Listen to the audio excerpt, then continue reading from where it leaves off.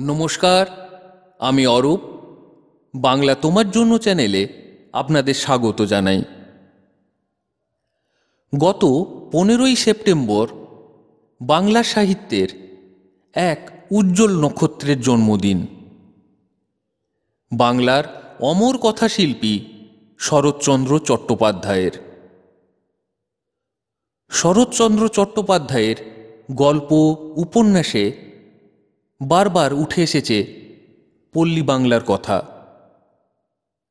গ্রাম বাংলার বঞ্চিত, অবহেলিত নারীদের কথাও তিনি সুন্দর করে ফুটিয়ে তুলেছেন তার গল্পে।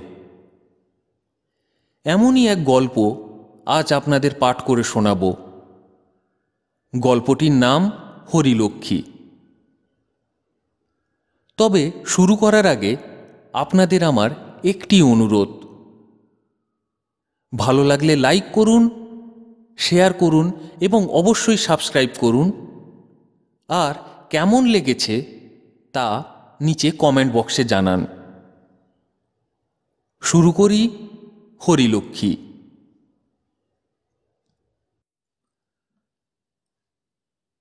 যাহা লইয়া এই গল্পের উৎপত্তি তাহা ছোট।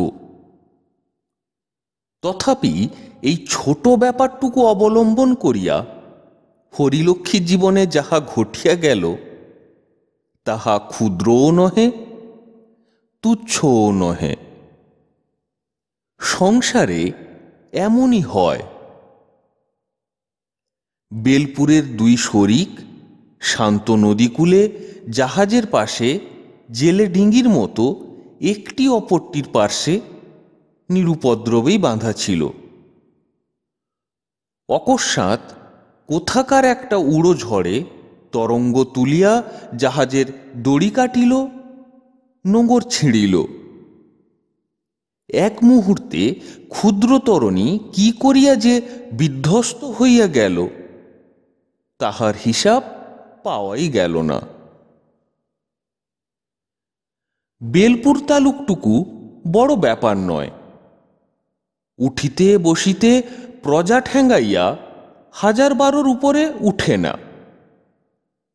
কিন্তু সাড়ে পনেরো আনার অংশীদার শিবচরণের কাছে দুপাই অংশের বিপিন বিহারীকে যদি জাহাজের সঙ্গে জেলে ডিঙ্গির তুলনাই করিয়া থাকি তো বোধ করি অতিশয়োক্তির অপরাধ করি নাই।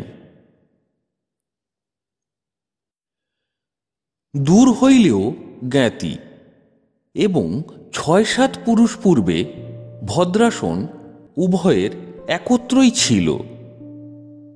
কিন্তু আজ একজনের ত্রিতল অট্টালিকা গ্রামের মাথায় চড়িয়াছে এবং অপরের জীর্ণগৃহ দিনের পর দিন ভূমিশয্যা গ্রহণের দিকেই মনোনিবেশ করিয়াছে।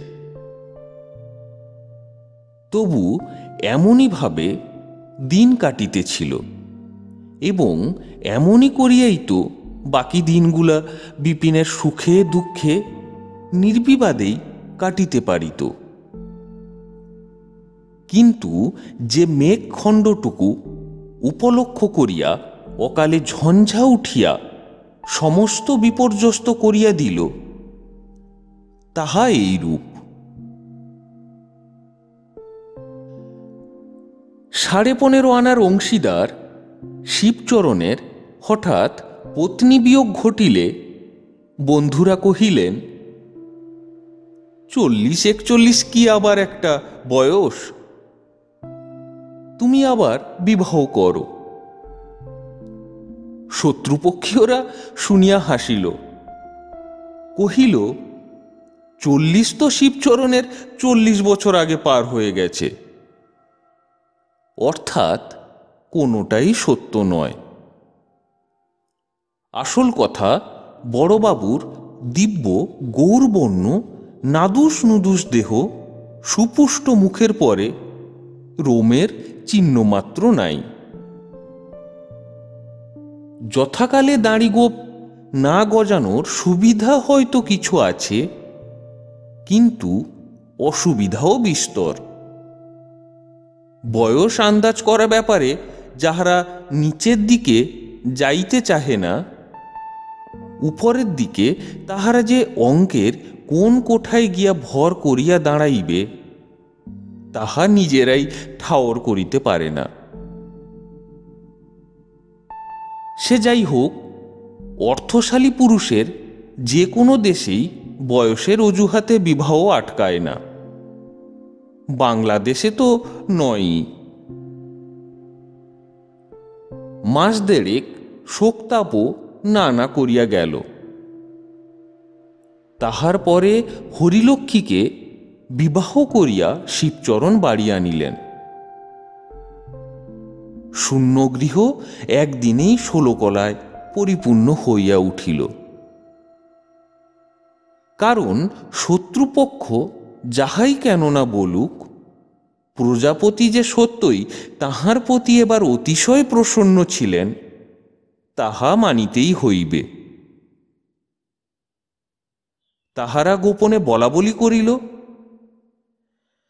পাত্রের তুলনায় নববধূ বয়সের দিক দিয়া একেবারেই যে বেমানান হয় নাই তবে দুই একটি ছেলে মেয়ে সঙ্গে লইয়া ঘরে ঢুকিলে আর খুঁত ধরিবার কিছু থাকিত না। তবে সে যে সুন্দরী, এ কথা তাহারা স্বীকার করিল।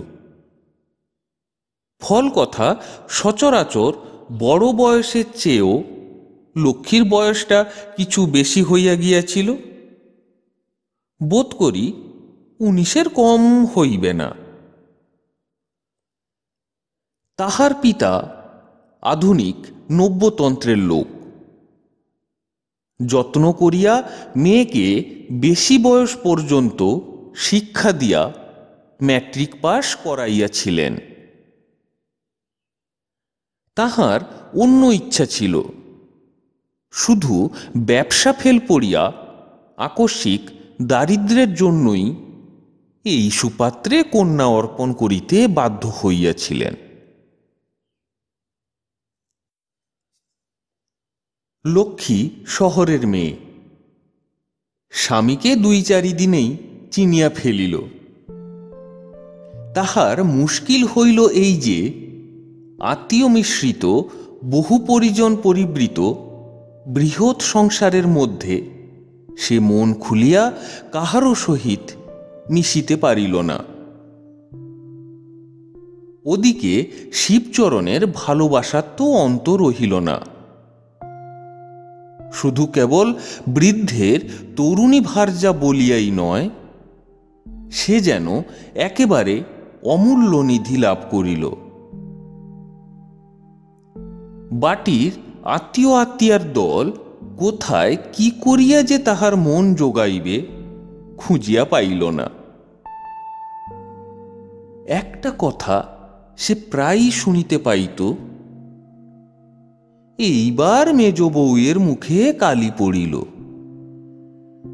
কি রূপে, কি গুণে, কি বিদ্যা বুদ্ধিতে এতদিন তাহার গর্ব খর্ব হইল। কিন্তু এত করিয়াও সুবিধা হইল না। মাস দুয়েকের মধ্যে লক্ষ্মী অসুখে পড়িল। এই অসুখের মধ্যেই একদিন মেজ বউয়ের সাক্ষাৎ মিলিল। তিনি বিপিনের স্ত্রী। বড় বাড়ির নূতন বধূর জ্বর শুনিয়া দেখিতে আসিয়াছিলেন। বয়সে বোধ হয় দুই তিন বছরের বড়। তিনি যে সুন্দরী, তাহা মনে মনে লক্ষ্মী স্বীকার করিল। কিন্তু এই বয়সেই দারিদ্রের ভীষণ কষাঘাতের চিহ্ন তাহার সর্বাঙ্গে সুস্পষ্ট হইয়া উঠিয়াছে। সঙ্গে বছর ছয়েকের একটি ছেলে, সেও রোগা।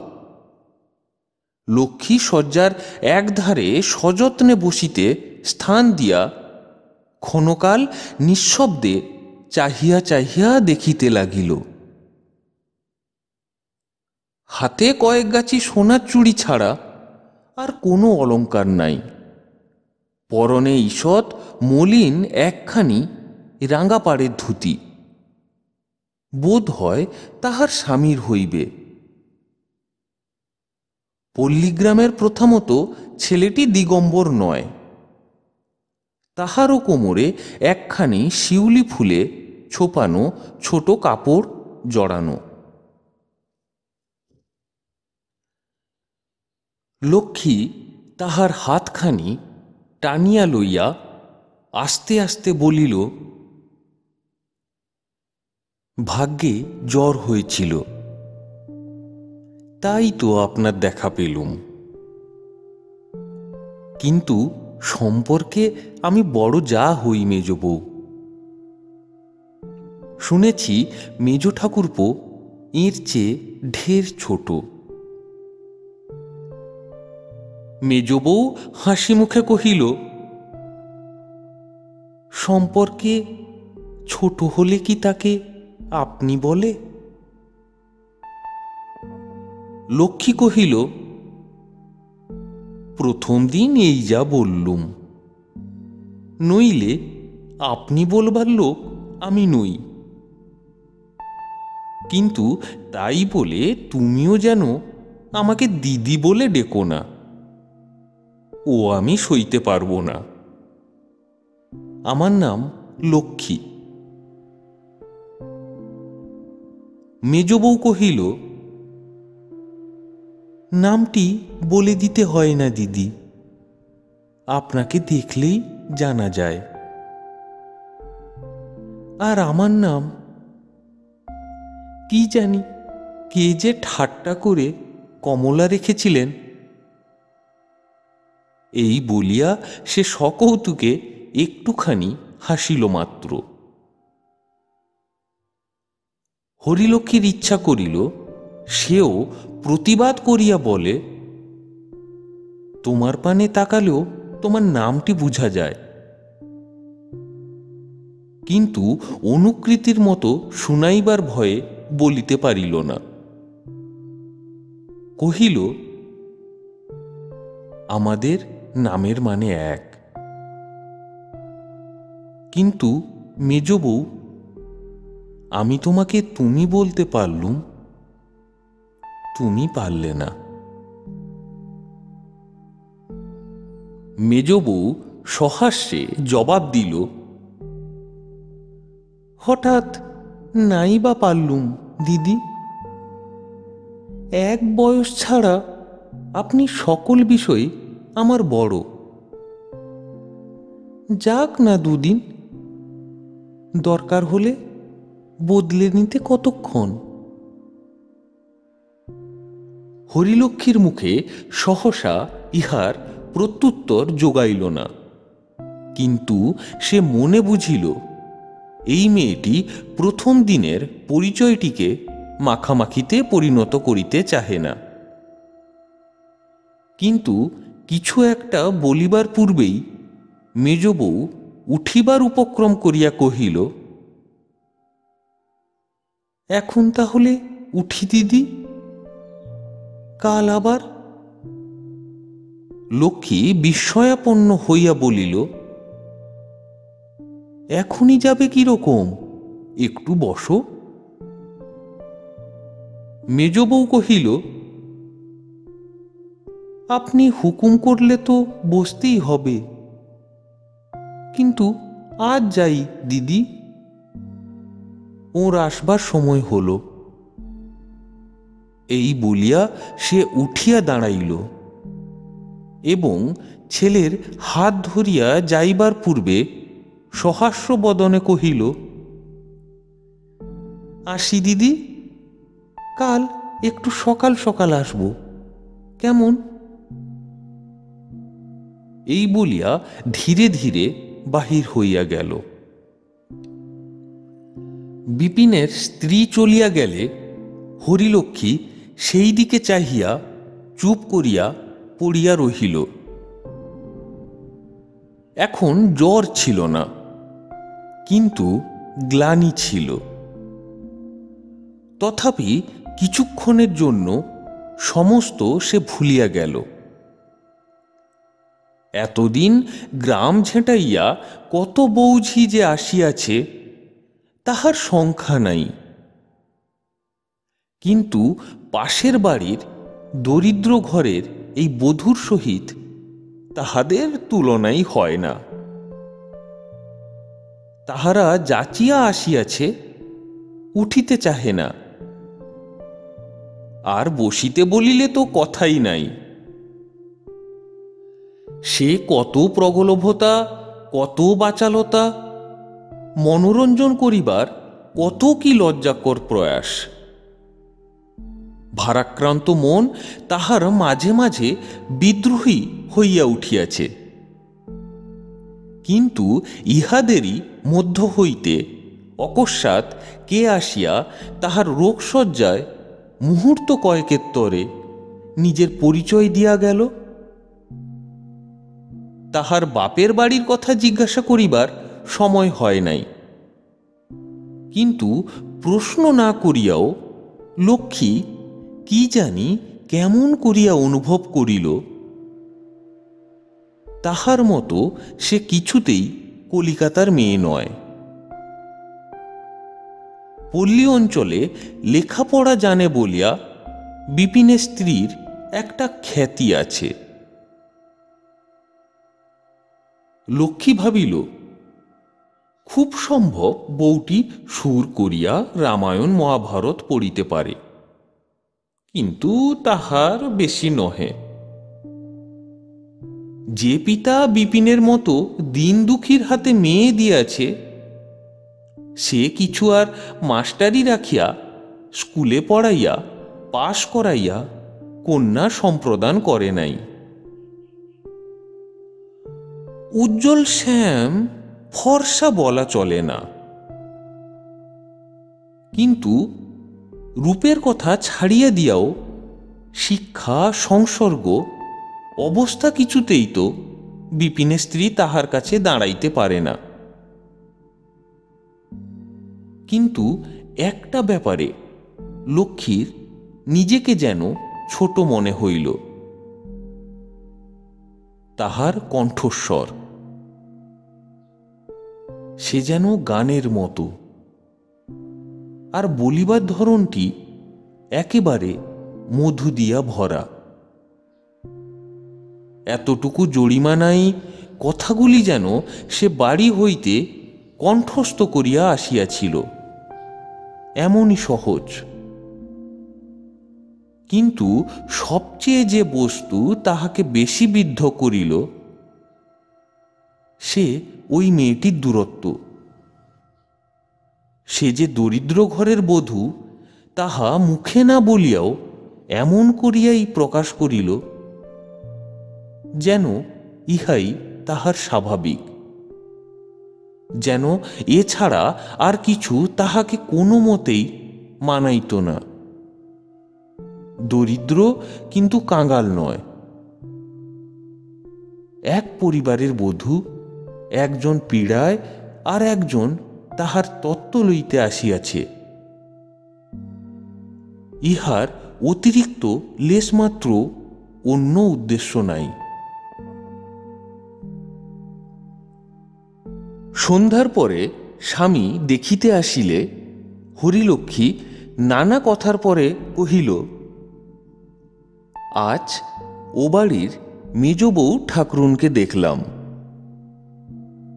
শিবচরণ কহিল কাকে? বিপিনের বউকে? লক্ষ্মী কহিল হ্যাঁ আমার ভাগ্য সুপ্রসন্ন। এত কাল পরে আমাকে নিজেই দেখতে এসেছিলেন।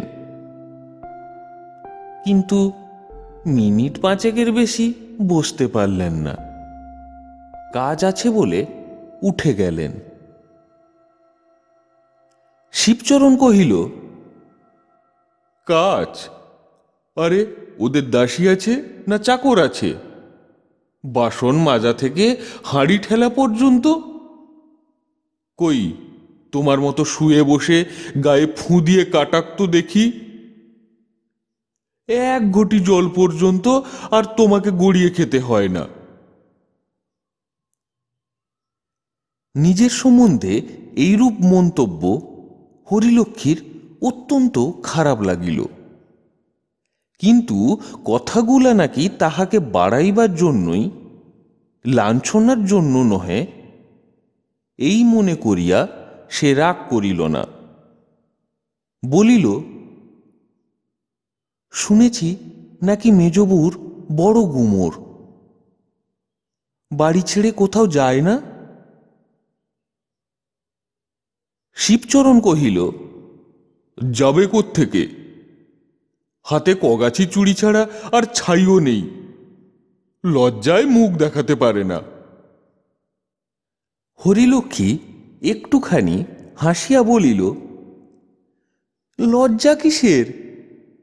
দেশের লোক কি ওর গায়ে জড়োয়া গয়না দেখবার জন্য ব্যাকুল হয়ে আছে? না দেখতে না পেলে ছিছি করে? শিবচরণ কহিল জড়োয়া গয়না। আমি যা তোমাকে দিয়েছি কোন শালার বেটা তার চোখে দেখেছে?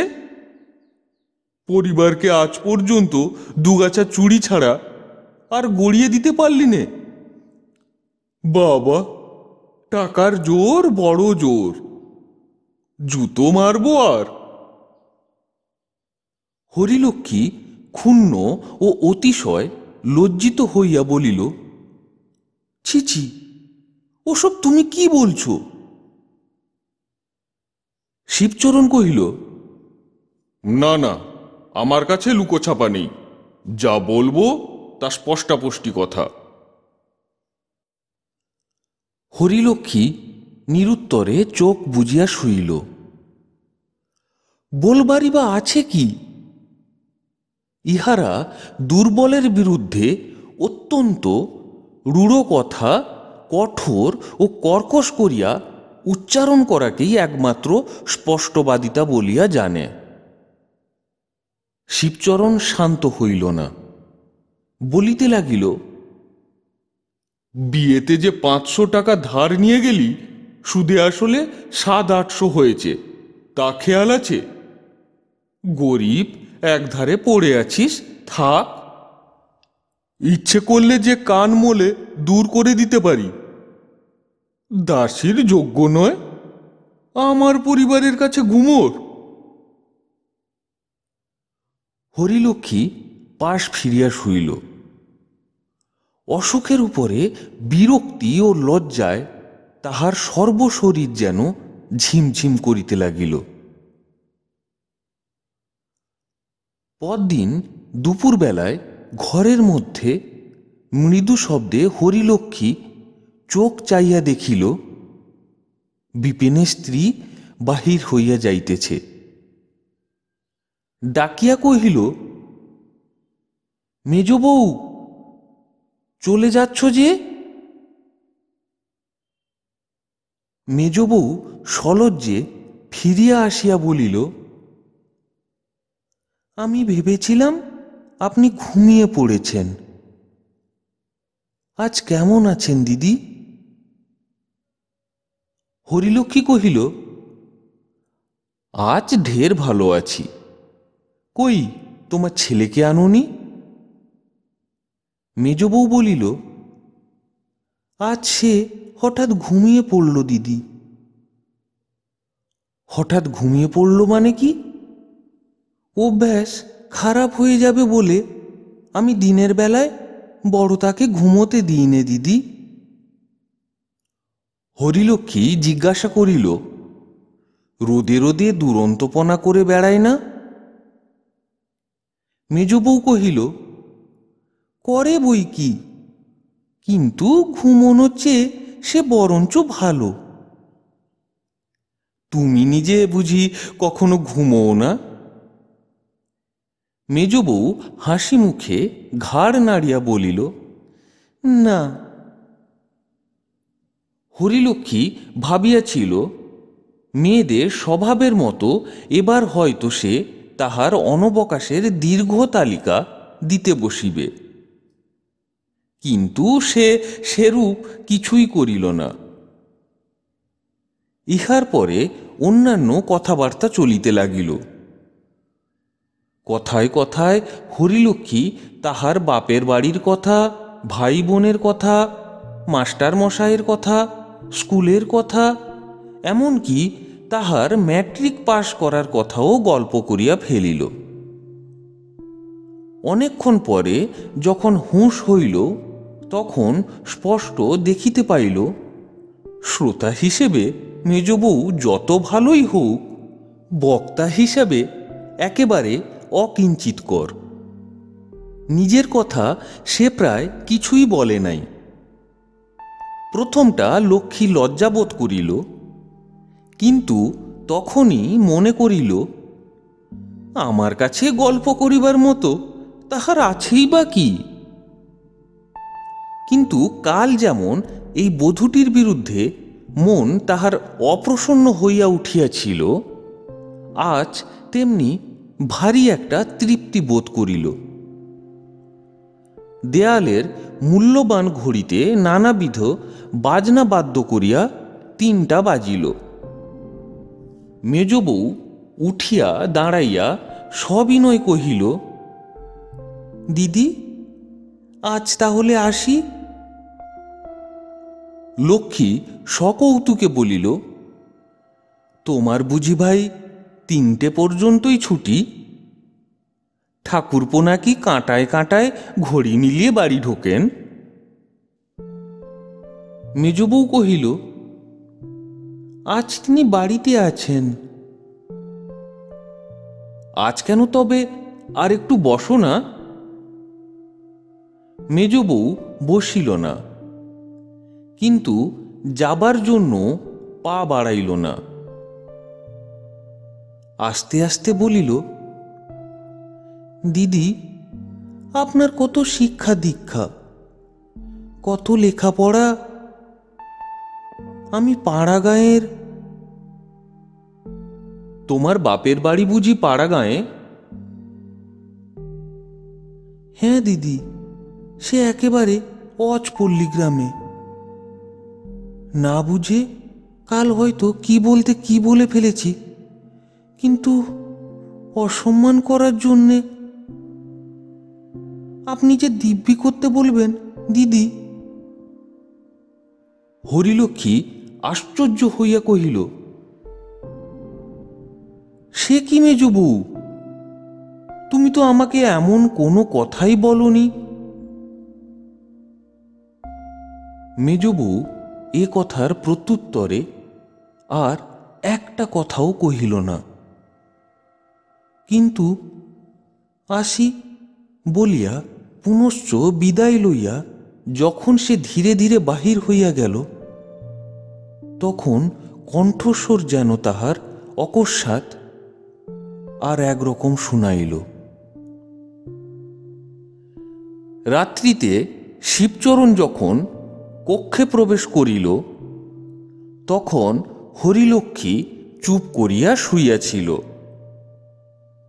মেজ বউয়ের শেষের কথাগুলো আর তাহার স্মরণ ছিল না। দেহ অপেক্ষাকৃত সুস্থ। মনও শান্ত প্রসন্ন ছিল। শিবচরণ জিজ্ঞাসা করিল, কেমন আছো, বড় বউ? লক্ষ্মী উঠিয়া বসিয়া কহিল, ভালো আছি।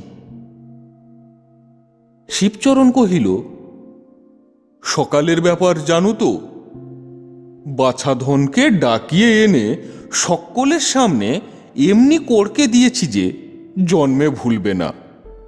আমি বেলপুরের শিবচরণ হ্যাঁ। হরিলক্ষ্মী ভীত হইয়া কহিল, কাকে গো? শিবচরণ কহিল, বিপ্নেকে। ডেকে বলে দিলাম, তোমার পরিবার আমার পরিবারের কাছে জঁক করে তাকে অপমান করে যায়। এত বড় আস্পর্ধা। পাজি, নচ্ছার, ছোট লোকের মেয়ে। তার ন্যাড়া মাথায় ঘোল ঢেলে গাধায় চড়িয়ে গায়ের বার করে দিতে পারি, জানিস? হরিলক্ষ্মীর রোগক্লিষ্ট মুখ একেবারে ফ্যাকাশে হইয়া গেল। বলো কি গো শিবচরণ নিজের বুকে তাল ঠুকিয়া সদর পেয়ে বলিতে লাগিল, এ গাঁয়ে জজ বলো, ম্যাজিস্ট্রেট বলো, আর দারোগা পুলিশ বলো, সব এই শর্মা এই শর্মা, মরণ কাঠি, জীবন কাঠি এই হাতে। তুমি বলো, কাল যদি না বিপিনের বউ এসে তোমার পা টেপে তো আমি লাটু চৌধুরীর ছেলেই নই, আমি বিপিনের বধূকে সর্বসমক্ষে অপমানিত ও লাঞ্ছিত করিবার বিবরণ ও ব্যাখ্যায় লাটু চৌধুরীর ছেলে অকথা কুকথার আর শেষ রাখিল না। আর তাহারই সম্মুখে স্তব্ধ, নির্নিমেষ চক্ষুতে চাহিয়া হরিলক্ষ্মীর মনে হইতে লাগিল, ধরিত্রী, দ্বিধা হও। দ্বিতীয় পক্ষের তরুণী ভার্যার দেহ রক্ষার জন্য শিবচরণ কেবলমাত্র নিজের দেহ ভিন্ন আর সমস্তই দিতে পারিত। হরিলক্ষ্মীর সেই দেহ বেলপুরে সারিতে চাহিল না। ডাক্তার পরামর্শ দিলেন হাওয়া বদলাইবার। শিবচরণ সাড়ে পনেরো আনার মর্যাদা মতো ঘটা করিয়া হাওয়া বদলানোর আয়োজন করিল। যাত্রার শুভ দিনে গ্রামের লোক ভাঙ্গিয়া পড়িল। আসিল না কেবল বিপিন ও তাহার স্ত্রী। বাহিরে শিবচরণ যাহা না বলিবার তাহা বলিতে লাগিল এবং ভিতরে বড় পিসি উদ্দাম হইয়া উঠিলেন। বাহিরেও ধোঁয়া ধরিবার লোকাভাব ঘটিল না। অন্তঃপুরেও তেমনি পিসিমার চিৎকারের আয়তন বাড়াইতে যথেষ্ট স্ত্রীলোক জুটিল। কিছুই বলিল না, শুধু হরিলক্ষ্মী।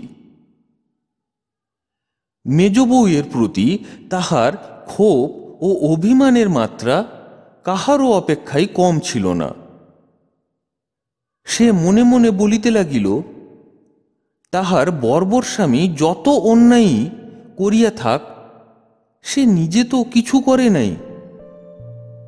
কিন্তু ঘরের ও বাহিরের যে সব মেয়েরা আজ চেঁচাইতেছিল, তাহাদের সহিত কোনো সূত্রেই কণ্ঠ মিলাইতে তাহার ঘৃণাবোধ হইল।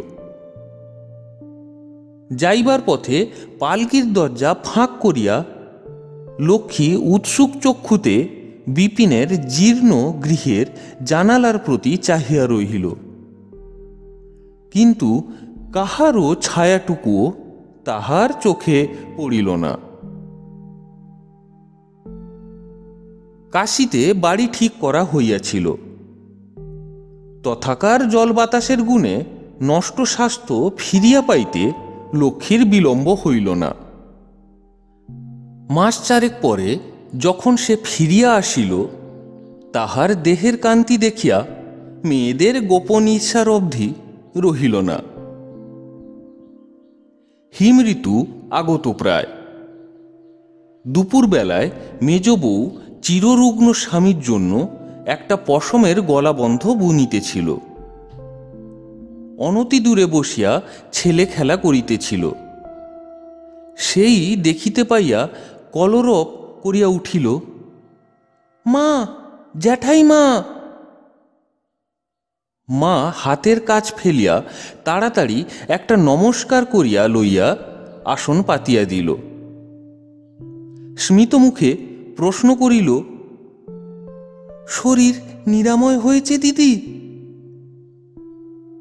লক্ষ্মী কহিল হ্যাঁ হয়েছে। কিন্তু না হতেও পারত, না ফিরতেও পারতাম। অথচ যাবার সময় একটিবার খোঁজও নিলে না। সমস্ত পথটা তোমার জানলার পানে চেয়ে চেয়ে গেলাম। একবার ছায়াটুকুও চোখে পড়ল না। রোগা বোন চলে যাচ্ছে। একটুখানি মায়াও কি হলো না মেজ বউ? এমনি পাশান তুমি। মেজ বউয়ের চোখ ছলছল করিয়া আসিল। কিন্তু সে কোনো উত্তরই দিল না। লক্ষ্মী বলিল, আমার আর যা দোষী থাক মেজ বউ, তোমার মতো কঠিন প্রাণ আমার নয়। ভগবান না করুন, কিন্তু অমন সময়ে আমি তোমাকে না দেখে থাকতে পারতাম না। মেজবউ, এ অভিযোগের কোনো জবাব দিল না। নিরুত্তরে দাঁড়াইয়া রহিল। লক্ষ্মী আর কখনো আসে নাই। আজ এই প্রথম এ বাড়িতে প্রবেশ করিয়াছে। ঘরগুলি ঘুরিয়া ফিরিয়া দেখিয়া বেড়াইতে লাগিল। শতবর্ষের জরাজীর্ণ গৃহ, মাত্র তিনখানি কক্ষ কোনো মতে বাসোপযোগী রহিয়াছে। দরিদ্রের আবাস, আসবাবপত্র নাই বলিলেই চলে। ঘরের চুনবালি খসিয়াছে, সংস্কার করিবার সামর্থ্য নাই। তথাপি অনাবশ্যক অপরিচ্ছন্নতা এতটুকু কোথাও নাই। স্বল্প বিছানা ঝরঝর করিতেছে। দুই চারিখানি দেবদেবীর ছবি টাঙানো আছে।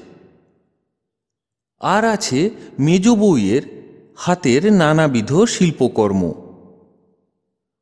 অধিকাংশই পশম ও সুতার কাজ। তাহা শিক্ষানবিশের হাতের লাল ঠোঁটওয়ালা সবুজ রঙের টিয়া পাখি অথবা পাঁচ রঙা বেড়ালের মূর্তি নয়। মূল্যবান ফ্রেমে আটা, লাল, নীল, বেগুনি, ধূসর, পাংশুটে, নানা বিচিত্র রঙের সমাবেশে পশমে বোনা, ওয়েলকাম, আসুন, বসুন, অথবা বানান ভুল, গীতার শ্লোকার্ধ নয়। লক্ষ্মী সবিস্ময়ে জিজ্ঞাসা করিল, ওটি কার ছবি মেজ বউ যেন চেনা চেনা ঠেকছে? মেজবউ সলজ্জে হাসিয়া কহিল, ওটি তিলক মহারাজের ছবি দেখে বনবার চেষ্টা করেছিলাম, দিদি। কিন্তু কিছুই হয়নি।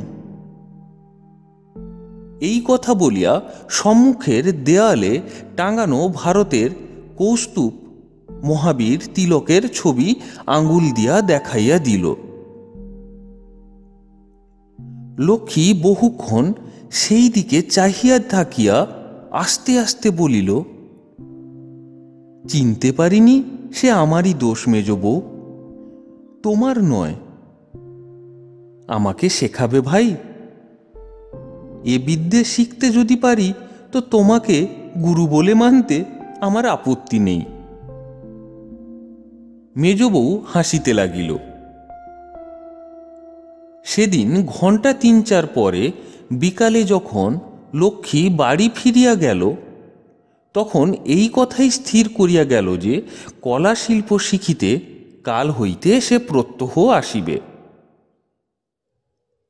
আসিতেও লাগিল, কিন্তু দশ পনেরো দিনেই স্পষ্ট বুঝিতে পারিল, এ বিদ্যা শুধু কঠিন নয়, অর্জন করিতেও সুদীর্ঘ সময় লাগিবে। একদিন লক্ষ্মী কহিল, কই মেজ বউ, তুমি আমাকে যত্ন করে শেখাও না? মেজ বউ বলিল, ঢের সময় লাগবে দিদি। তার চেয়ে বরঞ্চ আপনি অন্য সব বোনা শিখুন। লক্ষ্মী মনে মনে রাগ করিল, কিন্তু তাহা গোপন করিয়া জিজ্ঞাসা করিল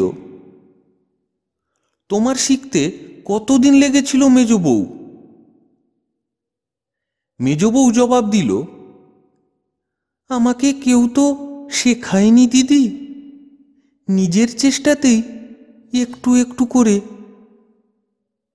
লক্ষ্মী বলিল তাইতেই নইলে পরের কাছে শিখতে গেলে তোমারও সময়ের হিসাব থাকত।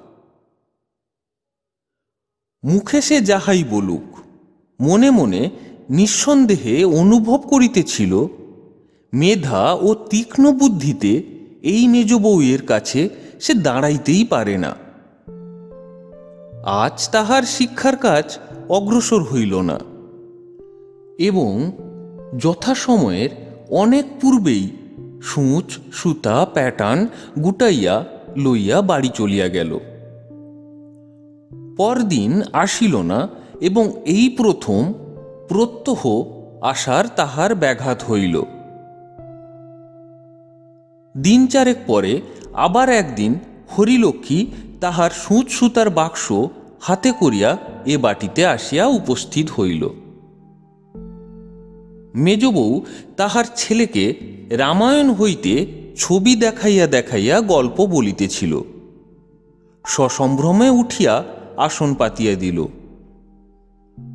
উদ্বিগ্ন কণ্ঠে প্রশ্ন করিল, দু তিন দিন আসেননি। আপনার শরীর ভালো ছিল না বুঝি? লক্ষ্মী গম্ভীর হইয়া কহিল, না, এমনি পাঁচ ছ দিন আসতে পারিনি। মেজবউ বিস্ময় প্রকাশ করিয়া বলিল, পাঁচ ছ দিন আসেননি? তাই হবে বোধ হয়। কিন্তু আজ তাহলে দু ঘণ্টা বেশি থেকে কামাইটা পুষিয়ে নেওয়া চাই।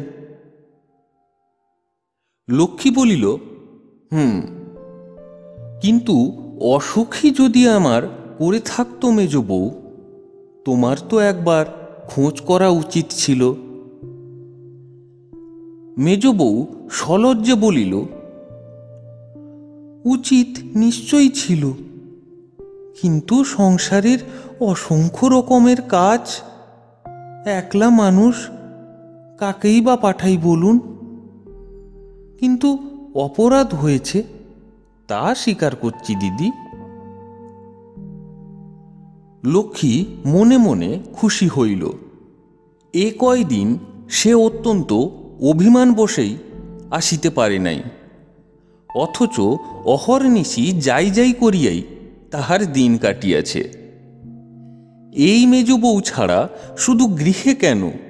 সমস্ত গ্রামের মধ্যেও আর কেহ নাই, যাহার সহিত সে মন খুলিয়া মিশিতে পারে। ছেলে নিজের মনে ছবি দেখিতেছিল। হরিলক্ষ্মী তাহাকে ডাকিয়া কহিল, নিখিল কাছে এসো তো বাবা।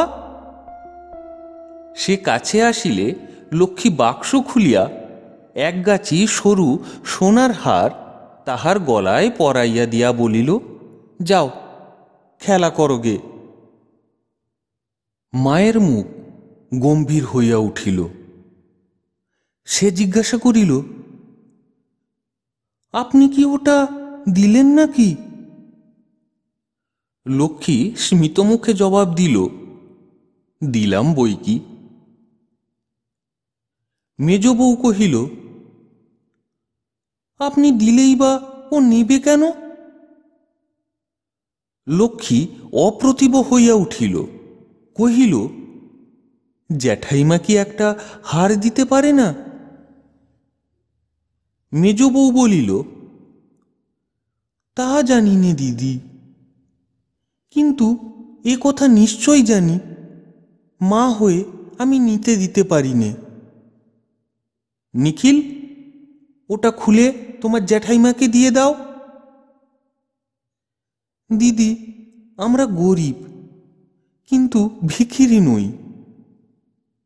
কোনো একটা দামি জিনিস হঠাৎ পাওয়া গেল বলেই দুহাত পেতে নেব, তা নিই নে লক্ষ্মী স্তব্ধ হইয়া বসিয়া রহিল। আজও তাহার মনে হইতে লাগিল, পৃথিবী দ্বিধা হও। যাবার সময় সে কহিল, কিন্তু এ কথা তোমার ভাসুরের কানে যাবে মেজ বউ। মেজ বউ বলিল, তার অনেক কথা আমার কানে আসে। আমার একটা কথা তার কানে গেলে কান অপবিত্র হবে না। লক্ষ্মী কহিল, বেশ, পরীক্ষা করে দেখলেই হবে। একটু থামিয়া বলিল, আমাকে খামোখা অপমান করার দরকার ছিল না মেজ বউ আমিও শাস্তি দিতে জানি। মেজ বউ কহিল, এ আপনার রাগের কথা। নইলে আমি যে আপনাকে অপমান করিনি, শুধু আমার স্বামীকেই খামোকা অপমান করতে আপনাকে দিইনি। এ বুঝবার শিক্ষা আপনার আছে। লক্ষ্মী কহিল, তা আছে। নেই, শুধু তোমাদের পাড়া গাঁয়ে মেয়ের সঙ্গে কোঁদল করবার শিক্ষা।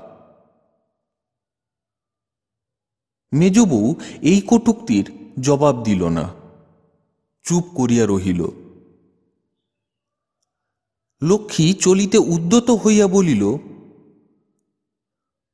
ওই হাটটুকুর দাম যাই হোক, ছেলেটাকে স্নেহ বসেই দিয়েছিলাম। তোমার স্বামীর দুঃখ দূর হবে ভেবে দিইনি। মেজ বউ, বড়লোক মাত্রেই গরিবকে শুধু অপমান করে বেড়ায়। এইটুকুই কেবল শিখে রেখেছ। ভালোবাসতেও যে পারে, এ তুমি শেখনি। শেখা দরকার। তখন কিন্তু গিয়ে হাতে পায়ে পড়ো না। প্রত্যুত্তরে মেজবউ শুধু একটু মুচকিয়া হাসিয়া বলিল না, দিদি, সে ভয় তোমাকে করতে হবে না। বন্যার চাপে মাটির বাঁধ যখন ভাঙিতে শুরু করে, তখন তাহার অকিঞ্চিতকর আরম্ভ দেখিয়া মনে করাও যায় না যে, অবিশ্রান্ত জলপ্রবাহ এত অল্পকাল মধ্যেই ভাঙনটাকে এমন ভয়াবহ, এমন সুবিশাল করিয়া তুলিবে। ঠিক এমনই হইল হরিলক্ষ্মীর। স্বামীর কাছে বিপিন ও তাহার স্ত্রীর বিরুদ্ধে অভিযোগের কথাগুলো যখন তাহার সমাপ্ত হইল, তখন তাহার পরিণাম কল্পনা করিয়া সে নিজেই ভয় পাইল। মিথ্যা বলা তাহার স্বভাবও নহে, বলিতেও তাহার শিক্ষা ও মর্যাদায় বাধে। কিন্তু দুর্নিবার জলস্রোতের মতো যে সকল বাক্য আপন ঝোঁকেই তাহার মুখ দিয়া ঠেলিয়া বাহির হইয়া আসিল, তাহার অনেকগুলিই যে সত্য নহে, তাহা নিজেই সে চিনিতে পারিল। অথচ তাহার গতিরোধ করাও যে তাহার সাধ্যের বাহিরে, ইহাও অনুভব করিতে লক্ষ্মীর বাকি রহিল না।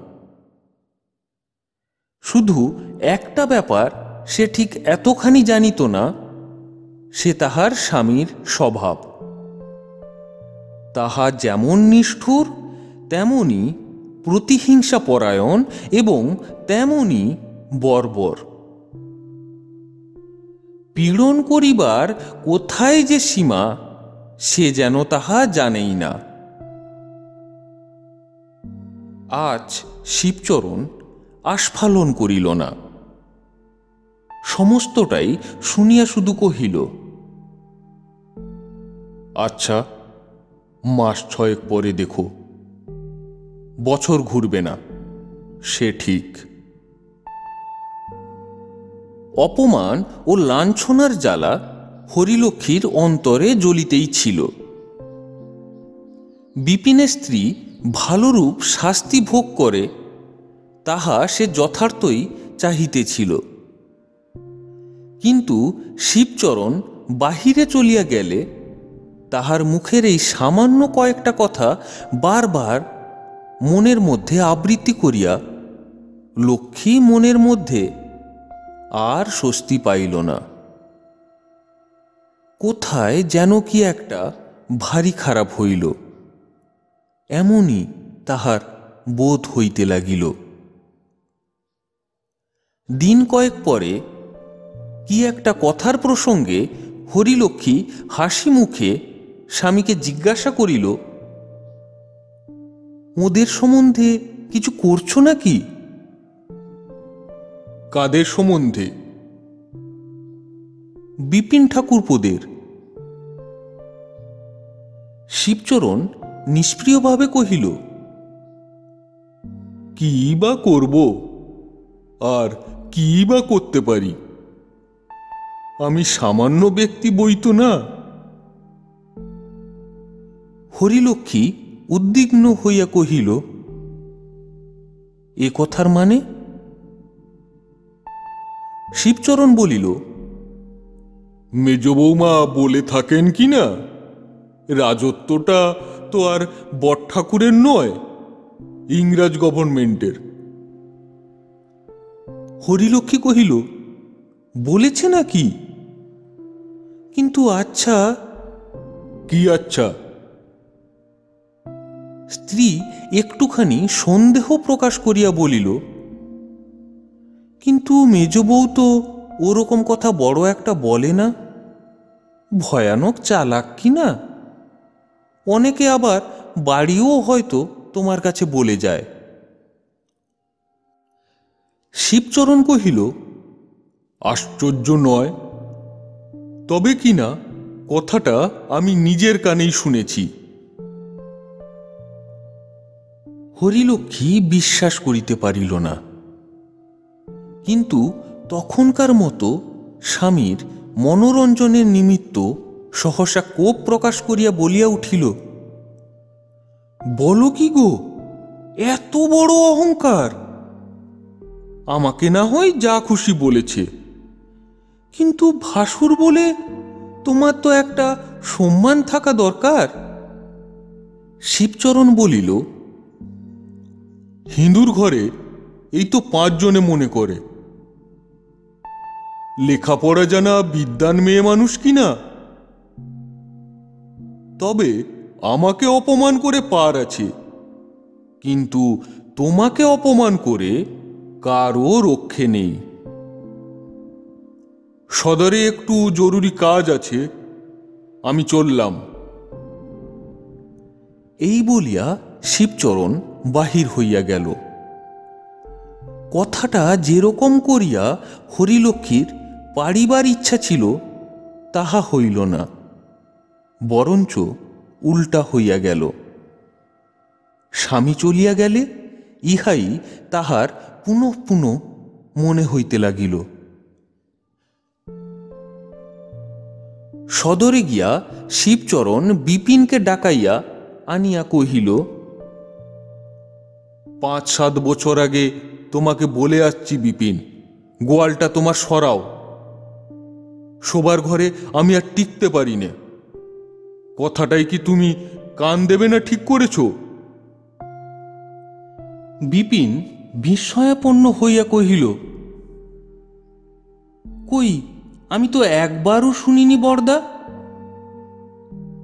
শিবচরণ অবলীলাক্রমে কহিল, অন্তত দশ বার আমি নিজের মুখেই তোমাকে বলেছি। তোমার স্মরণ না থাকলে ক্ষতি হয় না। কিন্তু এত বড় জমিদারি যাকে শাসন করতে হয়, তার কথা ভুলে গেলে চলে না?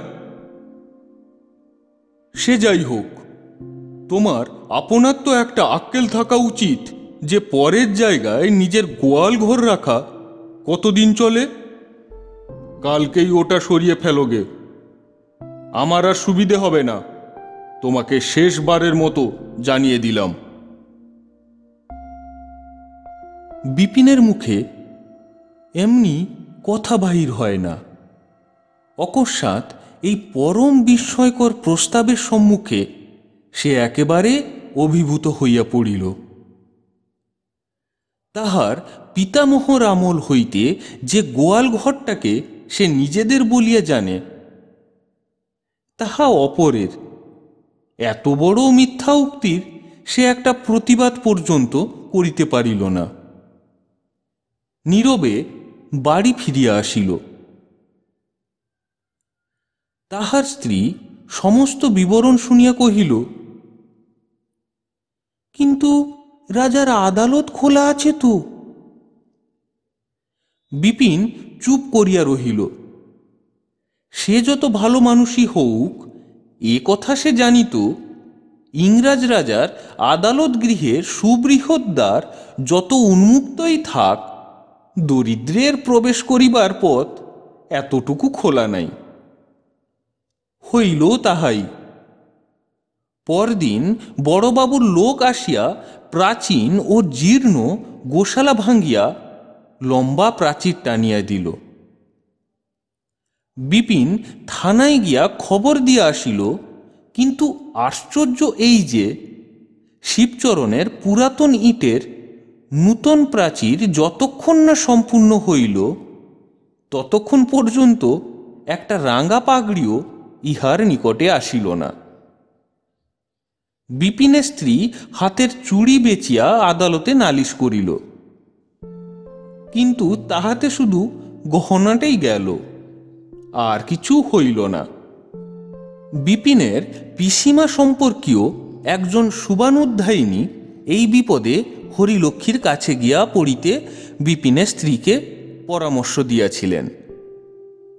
তাহাতে সে নাকি জবাব দিয়াছিল, বাঘের কাছে হাত জোড় করে দাঁড়িয়ে আর লাভ কি পিসিমা?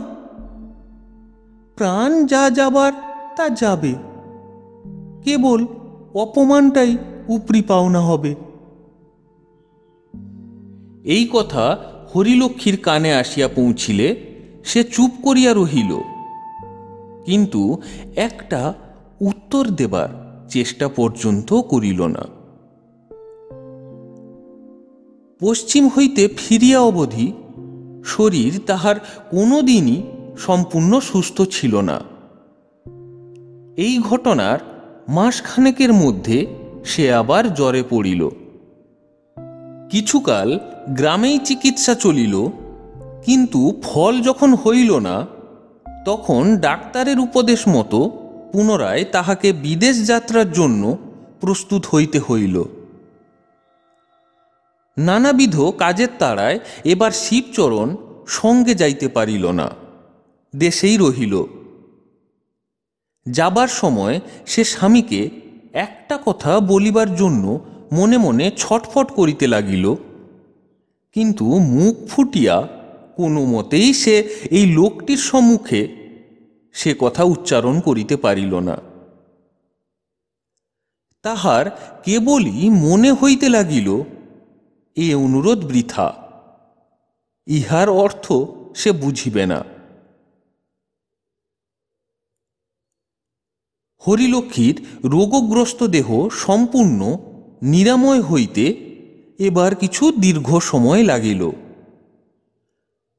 প্রায় বৎসরাধিক কাল পরে সে বেলপুরে ফিরিয়া আসিল।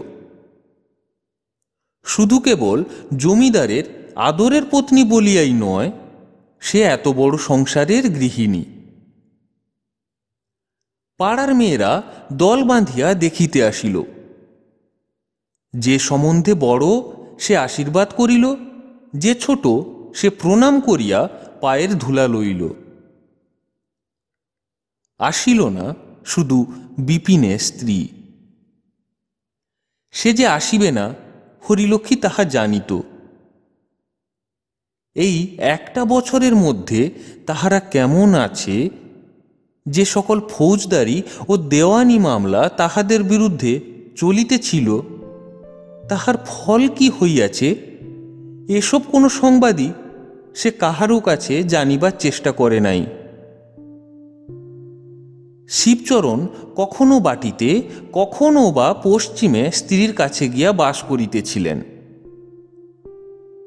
যখনই দেখা হইয়াছে, সর্বাগ্রে ইহাদের কথাই তাহার মনে হইয়াছে। অথচ একটা দিনের জন্য স্বামীকে প্রশ্ন করে নাই। প্রশ্ন করিতে তাহার যেন ভয় করিত। মনে করিত, এতদিনে হয়তো যা হোক একটা বোঝাপড়া হইয়া গেছে। হয়তো ক্রোধের সে প্রখরতা আর নাই। জিজ্ঞাসাবাদের দ্বারা পাছে আবার সেই পূর্বক্ষত বাড়িয়া উঠে, এ আশঙ্কায় সে এমনই একটা ভাব ধারণ করিয়া থাকিত, যেন সে সকল তুচ্ছ কথা আর তাহার মনে নাই। ওদিকে শিবচরণ নিজে হইতে কোনো দিন বিপিনদের বিষয়ে আলোচনা করিত না। সে যে স্ত্রীর অপমানের ব্যাপার মিশ্রিত হয় নাই, বরঞ্চ তাহার অবর্তমানে যথোপযুক্ত ব্যবস্থা করিয়া রাখিয়াছে। এই কথাটা সে হরিলক্ষ্মীর কাছে গোপন করিয়াই রাখিত। তাহার সাথ ছিল, লক্ষ্মী গৃহে ফিরিয়া নিজের চোখেই সমস্ত দেখিতে পাইয়া আনন্দিত বিস্ময়ে আত্মহারা হইয়া উঠিবে।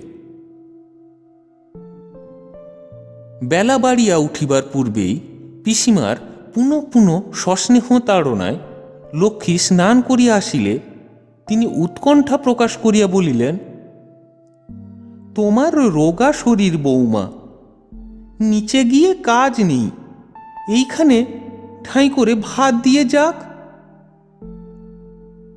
লক্ষ্মী আপত্তি করিয়া সহাস্যে কহিল, শরীর আগের মতোই ভালো হয়ে গেছে পিসিমা, আমি রান্নাঘরে গিয়েই খেতে পারব। ওপরে বয়ে আনার দরকার নেই। চলো, নিচেই যাচ্ছি। পিসিমা বাধা দিলেন, শিবুর নিষেধ আছে জানাইলেন এবং তাহারই আদেশে ঝি ঘরের মেঝেতে আসন পাতিয়া ঠাঁই করিয়া দিয়া গেল। পরক্ষণে রাঁধুনি অন্য ব্যঞ্জন বহিয়া আনিয়া উপস্থিত করিল। সে চলিয়া গেলে লক্ষ্মী আসনে বসিয়া জিজ্ঞাসা করিল, রাঁধুনিটি কে পিসিমা? আগে তো দেখিনি। পিসিমা হাস্য করিয়া বলিলেন, চিনতে পারলে না বৌমা, ও যে আমাদের বিপিনের বউ। লক্ষ্মী স্তব্ধ হইয়া বসিয়া রহিল। মনে মনে বুঝিল, তাহাকে চমৎকৃত করিবার জন্যই এতখানি ষড়যন্ত্র এমন করিয়া গোপনে রাখা হইয়াছিল। কিছুক্ষণে আপনাকে সামলাইয়া লইয়া জিজ্ঞাসু মুখে পিসিমার মুখের দিকে চাহিয়া রহিল। পিসিমা বলিলেন বিপিন মারা গেছে। শুনেছ তো? লক্ষ্মী শুনে নাই কিছুই। কিন্তু এইমাত্র যে তাহার খাবার দিয়া গেল, সে যে বিধবা, তাহা চাহিলেই বুঝা যায়। ঘাড় নাড়িয়া কহিল হ্যাঁ। পিসিমা অবশিষ্ট ঘটনাটা বিবৃত করিয়া কহিলেন যা ধুলোগুঁড়ো ছিল। মামলায় মামলায় সর্বস্ব খুইয়ে বিপিন মারা গেল। বাকি টাকার দায়ে বাড়িটাও যেত। আমরাই পরামর্শ দিলাম, মেজ বউ বছর দু বছর গতরে খেটে শোধ দে। তোর অপগণ্ড ছেলের মাথা কোঁচবার স্থানটুকু বাঁচুক। লক্ষ্মী বিবর্ণ মুখে তেমনি পলকহীন চক্ষুতে নিঃশব্দে চাহিয়া রহিল। পিসিমা সহসা গলা খাটো করিয়া বলিলেন, তবু আমি একদিন ওকে আড়ালে ডেকে বলেছিলাম মেজ বউ যা হবার তা তো হলো। এখন ধার ধর করে যেমন করে হোক, একবার কাশি গিয়ে বৌমার হাতে পায়ে গিয়ে পড়। ছেলেটাকে তার গায়ের উপর নিয়ে ফেলে দিয়ে বলগে দিদি এর তো কোনো দোষই নেই। একে বাঁচাও। কথাগুলি আবৃত্তি করিতেই পিসিমার চোখ জল ভারাক্রান্ত হইয়া উঠিল। অঞ্চলে মুছিয়া ফেলিয়া বলিলেন, কিন্তু সেই যে মাথা গুঁজে মুখ বুঝে বসে রইল হা না, একটা জবাব পর্যন্ত দিলে না। হরিলক্ষ্মী বুঝিল, ইহার সমস্ত অপরাধের ভারী তাহার মাথায় গিয়া পড়িয়াছে। তাহার মুখে সমস্ত অন্য ব্যঞ্জন তিত বিষ হইয়া উঠিল এবং একটা গ্রাসও যেন গলা দিয়া গলিতে চাহিল না। পিসিমা কি একটা কাজে ক্ষণকালের জন্য বাহিরে গিয়াছিলেন? তিনি ফিরিয়া আসিয়া খাবারের অবস্থা দেখিয়া চঞ্চল হইয়া উঠিলেন। ডাক দিলেন, বিপিনের বউ বিপিনের বউ। বিপিনের বউ দ্বারের বাহিরে আসিয়া দাঁড়াইতেই তিনি ঝঙ্কার দিয়া উঠিলেন। তাহার মুহূর্ত পূর্বের করুণা চক্ষুর নিমিষে কোথায় উবিয়া গেল? তীক্ষ্ণস্বরে বলিয়া উঠিলেন, এমন তাচ্ছিল্য করে কাজ করলে তো চলবে না বিপিনের বউ। বৌমা একটা দানা মুখে দিতে পারলে না, এমনই রেঁধেছ। ঘরের বাহির হইতে এই তিরস্কারের কোনো উত্তর আসিল না। কিন্তু অপরের অপমানের ভারে লজ্জায় ও বেদনায় ঘরের মধ্যে হরিলক্ষ্মীর মাথা হেঁট হইয়া গেল। পিসিমা পুনশ্চ কহিলেন, চাকরি করতে এসে জিনিসপত্র নষ্ট করে ফেললে চলবে না বাছা। আরও পাঁচজনে যেমন করে কাজ করে, তোমাকেও তেমনই করতে হবে, তা বলে দিচ্ছি। বিপিনের স্ত্রী এবার আস্তে আস্তে বলিল, প্রাণপণে সেই চেষ্টাই তো করি পিসিমা। আজ হয়তো কি রকম হয়ে গেছে।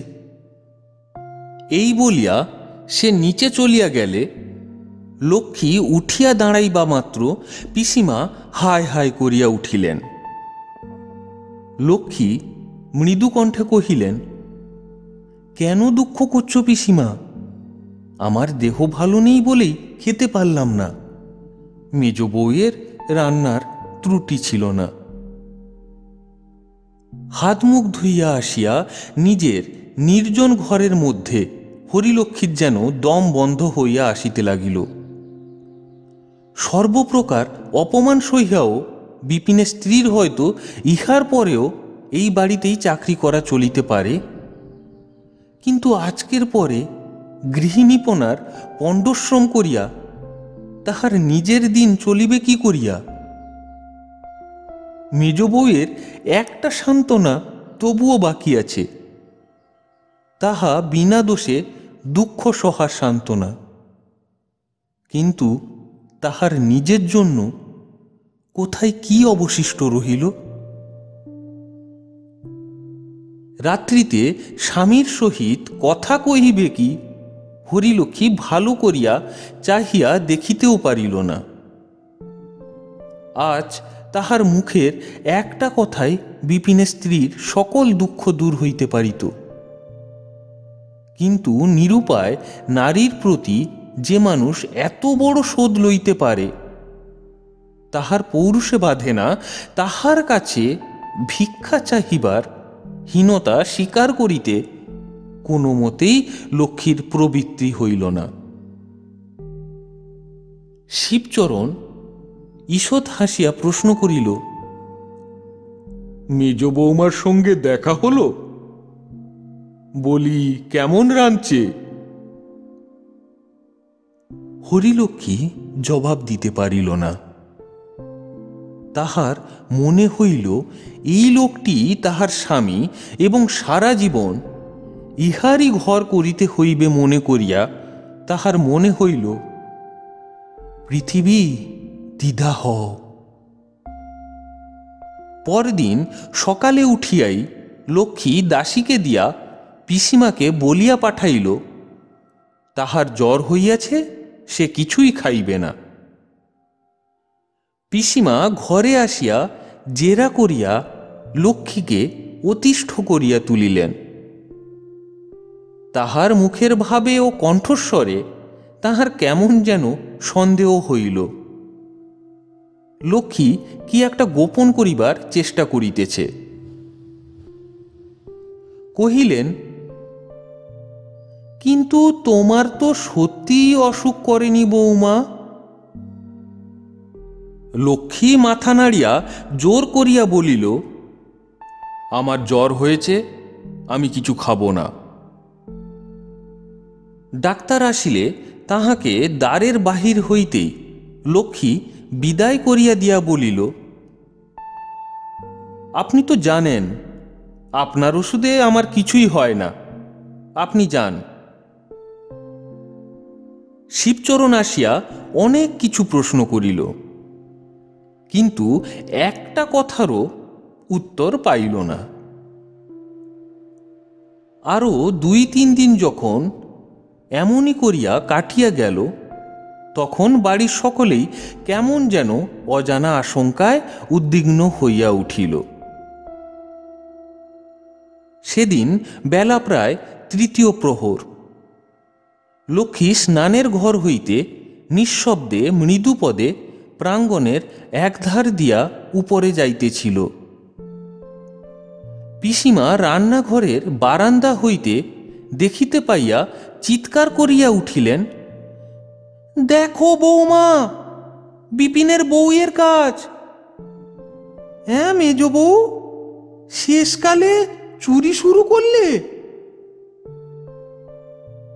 হরিলক্ষ্মী কাছে গিয়া দাঁড়াইল। মেজ বউ মেঝের উপর নির্বাক অধমুখে বসিয়া একটা পাত্রে অন্য ব্যঞ্জন গামছা ঢাকা দেওয়া সম্মুখে রাখা। পিসিমা দেখাইয়া বলিলেন তুমিই বলো বৌমা, এত ভাত তরকারি একটা মানসে খেতে পারে? ঘরে নিয়ে যাওয়া হচ্ছে ছেলের জন্যে। অথচ বারবার করে মানা করে দেওয়া হয়েছে। শিবচরণের কানে গেলে আর রক্ষে থাকবে না। ঘাড় ধরে দূর দূর করে তাড়িয়ে দেবে। বৌমা তুমি মনিব তুমি এর বিচার করো। এই বলিয়া পিসিমা যেন একটা কর্তব্য শেষ করিয়া হাঁপ ফেলিয়া বাঁচিলেন। তাহার চিৎকার শব্দে বাড়ির চাকর, দাসী, লোকজন যে যেখানে ছিল তামাশা দেখিতে ছুটিয়া আসিয়া দাঁড়াইল। আর তাহারই মধ্যে নিঃশব্দে বসিয়া ও বাড়ির মেজ বউ ও তাহার কর্ত্রী এ বাড়ির গৃহিণী। এত ছোট, এত তুচ্ছ বস্তু লইয়া এত বড় কদর্য কাণ্ড বাঁধিতে পারে, লক্ষ্মীর তাহা স্বপ্নের অগোচর। অভিযোগের জবাব দিবে কি? অপমানে, অভিমানে, লজ্জায় সে মুখ তুলিতেই পারিল না। লজ্জা অপরের জন্য নয়, সে নিজের জন্যই। চোখ দিয়া তাহার জল পড়িতে লাগিল। তাহার মনে হইল, এত লোকের সম্মুখে সেই যেন ধরা পড়িয়া গেছে এবং বিপিনের স্ত্রী তাহার বিচার করিতে বসিয়াছে। মিনিট দুই তিন এমনইভাবে থাকিয়া সহসা প্রবল চেষ্টায় লক্ষ্মী আপনাকে সামলাইয়া লইয়া কহিল, পিসিমা, তোমরা সবাই একবার এ ঘর থেকে যাও। তাহার ইঙ্গিতে সকলে প্রস্থান করিলে লক্ষ্মী ধীরে ধীরে মেজ বউয়ের কাছে গিয়া বসিল। হাত দিয়া তাহার মুখ তুলিয়া ধরিয়া দেখিল। তাহারও দুই চোখ বাহিয়া জল পড়িতেছে। কহিল মেজবউ আমি তোমার দিদি। এই বলিয়া নিজের অঞ্চল দিয়া তাহার অশ্রু মুছাইয়া দিল। এতক্ষণ শুনছিলেন শরৎচন্দ্র চট্টোপাধ্যায়ের গল্প হরিলক্ষ্মী। কেমন লাগল তা নিচে কমেন্ট করে জানান। আর যারা এখনও সাবস্ক্রাইব করেননি, তারা অবশ্যই সাবস্ক্রাইব করুন। আজকের মতো এইটুকুই। ধন্যবাদ।